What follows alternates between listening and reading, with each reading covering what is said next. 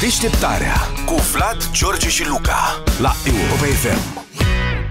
Poate că ar trebui să ținem minte ziua aceasta de 8 ianuarie 2024, de început de an, și să ne reauzim peste exact 12 luni, ca să facem o comparație între cum arată acum viețile și viitorul nostru și cum vor arăta atunci, pe 8 ianuarie 2025. Că nu de alta, dar cumva par să se fi aliniat toate planetele politice și economice pentru un an al tuturor alegerilor și deciziilor cruciale. Și e foarte posibil ca peste un an, ziua asta de 8 ianuarie 2024, adică azi, să ni se pară una în care încă trăiam cu speranța unui viitor mai bun.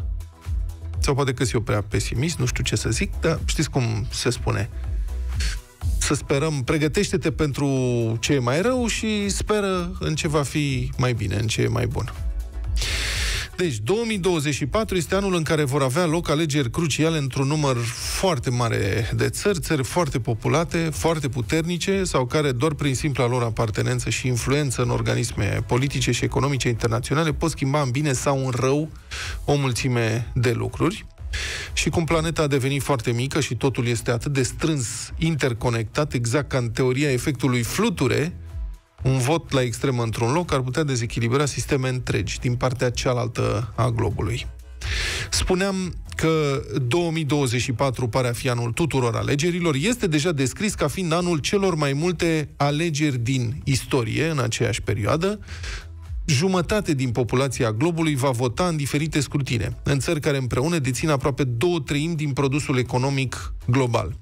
Și, desigur, unele sunt alegeri doar cu numele, cum ar fi în Corea de Nord, sau în Federația Rusă, unde regimul Putin arestează sau scoate din cursă de zor orice posibil contracandidat al dictatorului, acolo nu sunt alegeri, dar vor avea loc alegeri și în India, cea mai populată țară de pe glob și cea mai mare democrație a lumii, iar aici democrația a suferit un proces constant de eroziune în ultimii 10 ani, de când la putere se află același partid și același prim-ministru.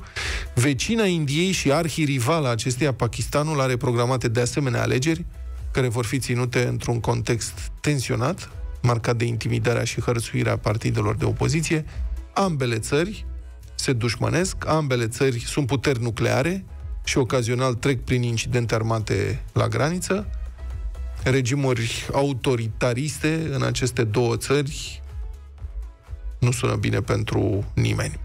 Vor avea loc alegeri și în Taiwan, insula pe care China o consideră partea teritoriului național, dar care își revendică independența. China a investit sume literalmente astronomice în dezvoltarea și modernizarea armatei, iar liderul autoritar de la Beijing, Xi Jinping, folosește un ton din ce în ce mai belicos față de Taiwanul, susținut masiv de Statele Unite ale Americii. Există temeri că alegerea unui președinte ostil Chinei la Taipei ar putea fi interpretată de Beijing ca o provocare imposibil de trecut cu vederea. Relațiile din acest triunghi geopolitic China, Taiwan, Statele Unite reprezintă unul dintre punctele incandescente cruciale pentru securitatea planetei. Mai sunt alegeri și în cea mai mare și singura, de altfel, democrație musulmană a lumii, Indonezia, unde favoritul pentru câștigarea cursei prezidențiale se confruntă cu acuzații de corupție, abuz și chiar răpire a unor membri ai opoziției, nu e o perspectivă prea bună pentru democrație. Mai sunt alegeri în diverse țări africane, aici președintele Iohannis e primul interesat, desigur, în țări din America Latină, în alte țări asiatice, dar pentru noi cele mai importante vor avea loc în Uniunea Europeană și în Statele Unite. La începutul verii. Vor fi alegeri europarlamentare în țările Uniunii Europene, pe fondul creșterii în popularitatea mișcărilor extremiste și suveraniste, și noi, românii, ne confruntăm cu acest flagel care erodează democrațiile occidentale de zeci de ani. Deja.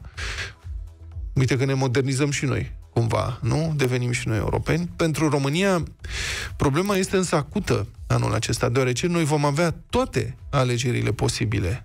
Adică nu doar europarlamentare, ci și locale, parlamentare și, desigur, prezidențiale și o victorie a formațiunilor de extremă sau creșterea masivă a influenței acestor formațiuni în alegerile noastre ar fi realmente un dezastru pentru România a cărei prosperitate, atâta cât a e, depinde esențialmente de apartenența și de bunele relații cu Uniunea Europeană.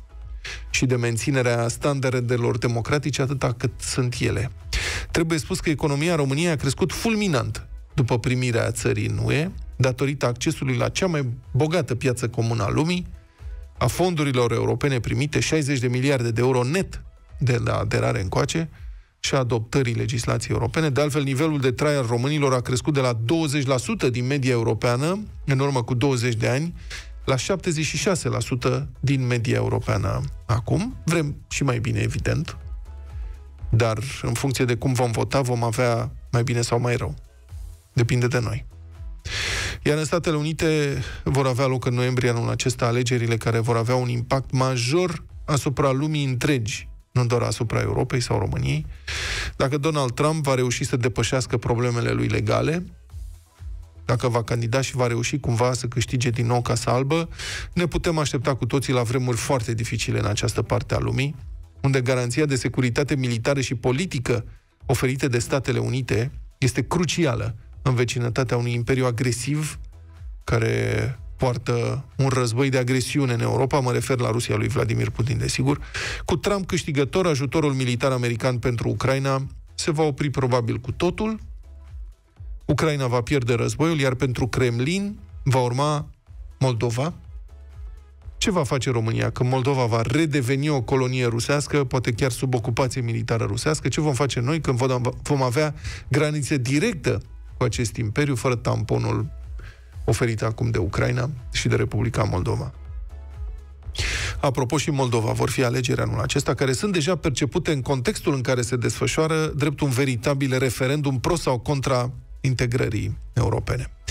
Așadar, um, prieteni, să fim atenți la ce ne înconjoară într-o lume super conectat, așa cum spuneam, în care tot ce se întâmplă într-o parte are efecte în cealaltă parte.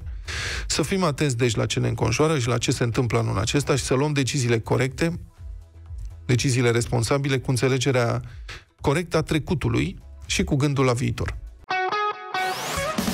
Deșteptarea cu Vlad, George și Luca la Europa FM.